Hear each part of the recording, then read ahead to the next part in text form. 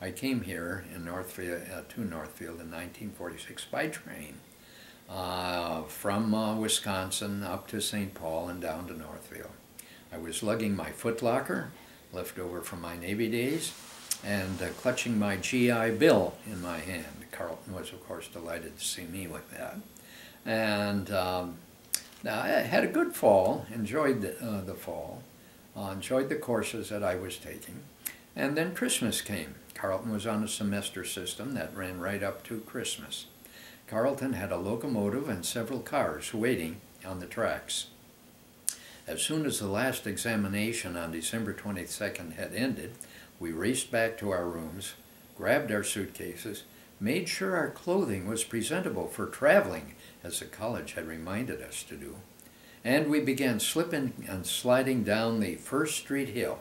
That's a steep hill that no longer is part of our street system. It's been built over by uh, college dormitories now. It no longer exists. I was struggling along with my suitcase when I heard behind me a whoop and a yell, watch out! And a classmate swooped past me, madly riding down the icy hill, sitting on his suitcase. Well, we both made it to the train before it took off for Chicago and points in between.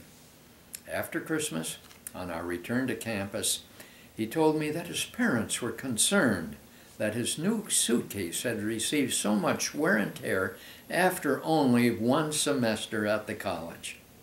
I don't think he ever told them uh, about what he had done.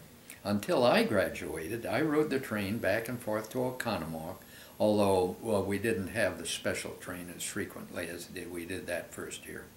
I went in and out of our depot until finally passenger trains were canceled, the depot was closed, and only a memory remains.